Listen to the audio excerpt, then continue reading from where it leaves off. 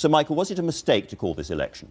No, I think uh, the Prime Minister was right to ask for a bigger majority to open up the Brexit negotiations and to build a stronger, fairer Britain beyond that. She didn't have an elected mandate herself. She wanted a bigger majority. That hasn't transpired, and now we have to get on and make the best of it.